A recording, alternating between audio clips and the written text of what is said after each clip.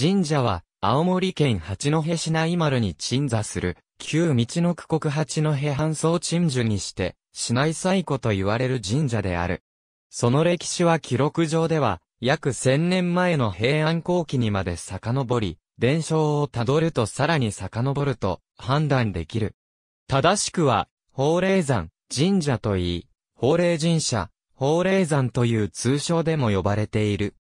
江戸になり、盛岡に南部藩が誕生すると、その領内にある八戸城の館神とされていたが、江戸時代初期の1665年に、八戸藩が成立すると藩神の地位を得て、八戸藩総鎮守となり、大名家南部市の祈願所となった。それに伴い規模拡張とともに、八戸城内にの丸に潜座されたこともあり、当時は一般領民は参拝が許されない神社だった。現在では、市中心部鎮座という場所柄や古来より、八戸の総鎮守であるという特性などから、地元の老舗企業や中央大手企業の支社支店などは、神社の数形企業となっているところが多く、地元経済界の一部ではそれを名誉と捉える、風潮が事実として存在している。この影響もあり、神社の数形者はとにかく熱狂的な人々が多く、特別視する傾向も根強い。また、八戸三社大祭発祥の神社であり、現在も神社が所蔵しているおみこしが長者山に渡ることが三社大祭の本来の由緒である。この神社の拝みの漢字は、珍しい文字で、雨冠のもとに、口を横並びに三つ、その下に、竜を書く。一説によると、源義経の性質と言われる慶の小賀野大臣の娘が自害した場所と伝わり、その御霊が祀られているという伝説が伝えられている場所でもある。法霊山、神社の起源には諸説あるが、元来、八戸村柏崎地区の産砂神、そしてこの地域の農業用水などを賄っていた、柏崎包の守護神として創始された、お宮であるという説が有力である。この創建年代に関しては、大和朝廷による、蝦夷政党以降、北東北の地に神社という概念が持ち込まれた頃には、すでに産砂信仰は定着していたため、これを、創建根拠とするならば、後の武家による氏神信仰に由来する神社などよりも、古くから存在していたと考えられることが、神社が市内で最も古くから存在したとする、一つの理由と考えられている。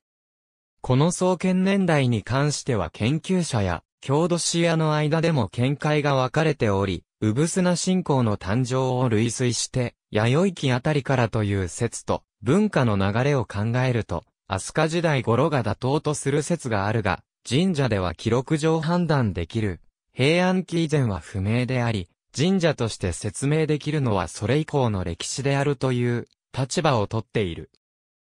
しかし、八戸の郷土史家の権威であり、神社総代を務めた、勝負家種安によると、神社が、義経北港伝説において、義経の性質が没した場所と伝えられるのは、公家の姫の秘儀や体裁に、格別の配慮をした結果であり、北港伝説が実話であっても創作であっても、公家の終着点として選ばれたのは、当時から、八戸地方において、特別な神として存在し、またその由緒には、公家の体裁に恥じることないものがあり、その一つとして、最古の神という部分が重要であると述べている。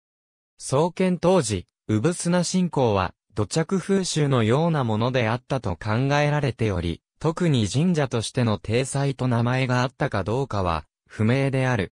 その後包の守護神となった頃には、神社は、岬社と呼ばれており、柏崎、慶賀、崎、八太郎崎の三つの先に由来していると言われている。当時の鎮座地は、現在より、やや南東方面に鎮座していたとされている。この頃にはまだ専門的な神職が、お宮を守るということはなく、地域の人々の産砂信仰などにより支えられていたと考えられている。それから時代が鎌倉に移り、現在も、神職を務める坂本家の七代目である、法霊という修験者が、熊野や京都の正御院などで、修行の後、東北地方から、青森県内様々な地域を解いて回りながら、八戸に戻ったことから、現在の神社としての縁起が始まっていくことになる。法令が八戸に入った時、一帯は、日照り続きで作物の栽培に深刻な影響が出ていたため、農民たちは雨乞い祈祷に優れた法令に依頼し、恵みの雨を願ったが、神職を忘れた命がけの祈祷の皆無なしく、雨を降らせることができなかったという。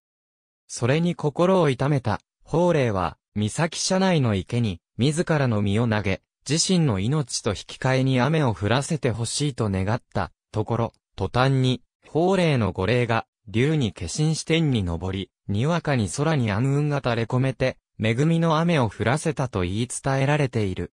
このご神徳に心から感謝した人々は御霊を、岬社に合祀して、法霊明神と崇め、農耕、豊作、皇聖天の守り神として祀ったとされている。なお、この頃岬社は、現在の内丸一丁目のあたりに存在していたとされており、その中にあった池に、法霊は投身したものとされている。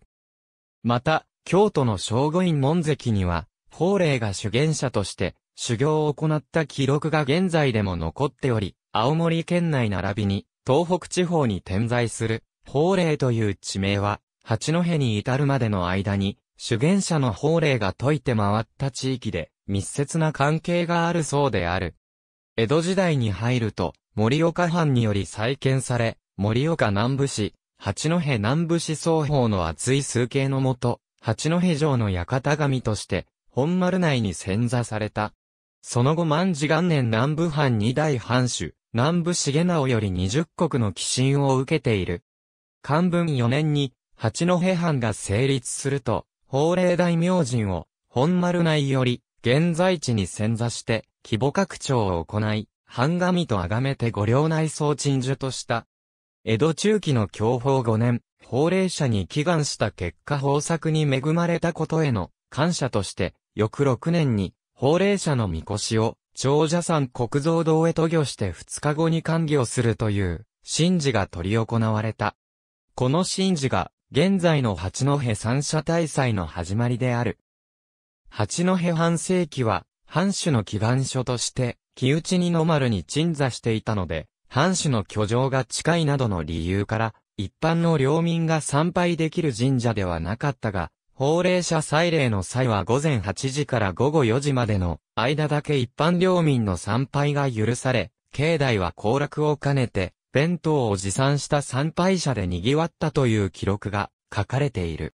現在は、内丸という住所からもわかるように、半世紀時代から鎮座している、八戸城二の丸内跡にそのまま鎮座している。そのため古くから城下で商いを敷いていた老舗商家をはじめ、大手を含む企業の数形者が多く、神社は、大手企業以外は相手にしないなどと揶揄されることもあるが、実際は他の神社と同じく個人も含め誰でも通常通りの参拝が可能である。現在の本殿は約190年前に大名南部化より寄進されたものであるが、その前までは現在神楽殿となっている建物が本殿であった。当時現在の38条公園あたりにあった、法令者が潜座するにあたり、現在地まで丸太などを転がしながら経営にしてきたと言われている。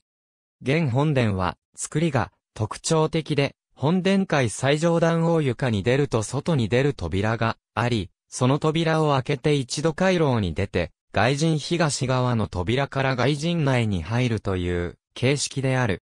しかしながら外陣正面にも扉はあり、回避可能であるが、おかぎがなく、おかぎは外陣東側の外に取り付けられているという不思議な構造になっている。拝殿も現本殿と同時期に南部化より寄進された建物である。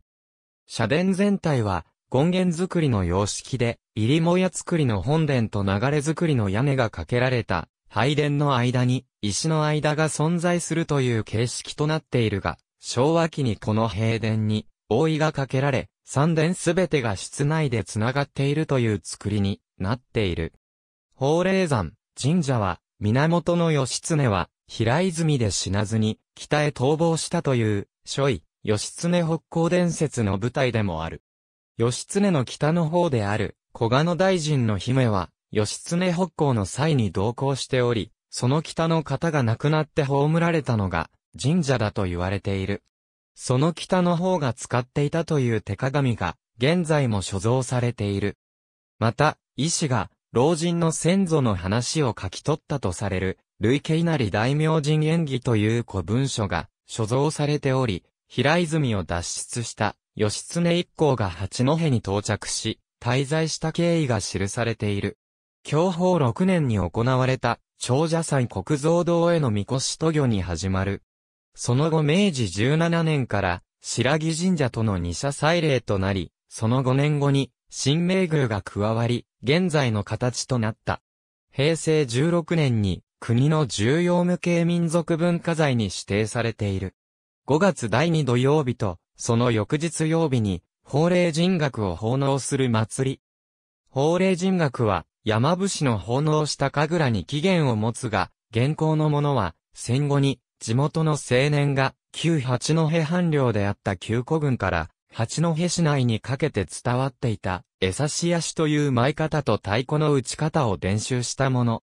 演目は、権現舞や、山の神、曲芸風のキネ舞や剣舞等があり、また、八戸地方での伝承のない早知根神楽の演目である、八万舞が演じられるのは、特徴とされる。獅子頭をかぶった数人の舞手が、一斉刃打ちという一斉に獅子頭の刃を打ち鳴らす、権現舞が中心に演目で、杵舞では、舞手が杵を回したり立てて乗ったりする。鳥舞では、私有の鳥型の烏帽子をかぶった二人が、扇と尺状で悪霊を沈める所作をする。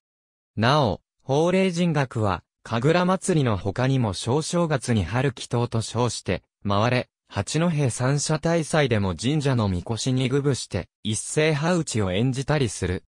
神社歴代の神職は、蘇我兄弟の仇討ちで討ち取られた、工藤助常の演者にあたる工藤雄道末への、坂本氏で、昭和期には、神社のほか、長者山白木神社や三十八条神社、串引八幡宮などの宮司を兼務していたこともある。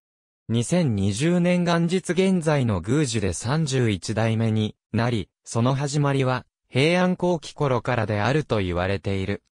また、坂本や七代目の法令は、法令明神として神社の主催神の一柱に数えられているが、現神職者家の先祖になるため、代々一家系にて、先祖の神を祀っているということになる。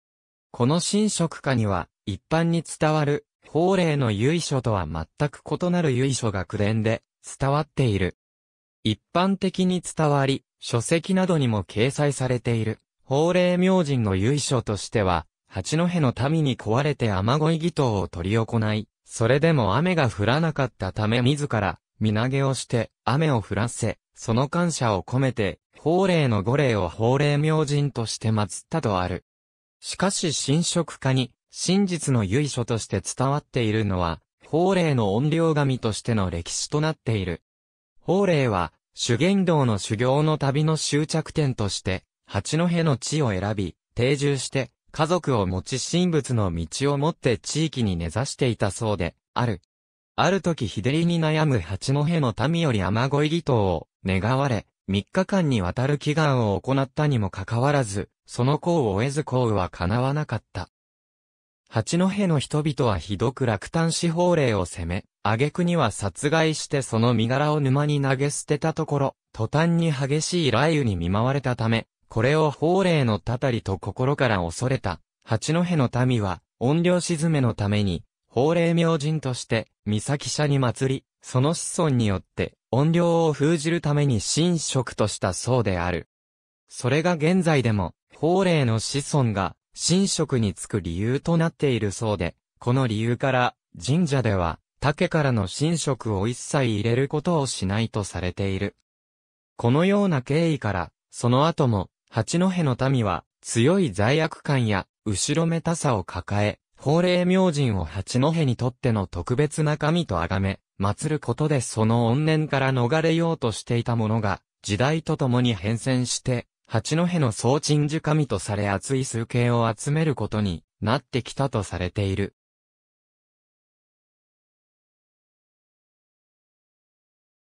この由緒は一般には公開されていないが、神社神職の名刺裏に非公開区伝のご由緒として記載されており、名刺交換をした人のみが知り得るものとなっている。現在の八戸三社大祭は、行列の運行ルートが観光用に計画されたものとなり、歴史を踏襲したものではなく、歴史的意味はない。2003年に、祭りが国の重要無形民族文化財に指定されたのを受け、2004年は1年限りの約束で、全神社全山社組が変更ルートを運行したが、2005年も約束を保護にして変更ルートを計画した。実行委員会やコンベンション協会に対して、当時の小上神社宮司が猛反発、神事の意味を軽視する運行ルート変更は許容できるものではないとし、それからは小上神社の神社行列のみが、伝統ルートを運行するという事態に発展している。それ以降現在でもこの問題解決していないが、全国的に歴史的価値の向上が、観光戦略の成功を収めている中にあって、八戸ではなぜか、伝統を守るか、または伝統をある程度捨てて、観光効果を取るかという、他ではあまり見られない切り口で議論されている。しかしこの背景には、全国でも有数の不景気都市となっている八戸の経済状況が反映していると考えられ、80億円超と言われる八戸地方最大の経済効果を生み出す、この祭りにかける期待の大きさが伺える。法令人学は、小上神社の重要な伝統的神事とされ、青森県の無形民族文化財に指定されている中にありながら、ここ数年参加者の中に女性がいることを問題にして、神社に苦情を寄せるケースが発生していることが話題になっている。法令人学は山伏神楽であるが、山伏は女人禁制にもかかわらず、女性に権限舞を行わせたり絵帽子をかぶった女性が登場するなど、山伏文化が女人禁制である本来の理由などを考慮しない文化破壊につながっているとの指摘がある。ありがとうございます。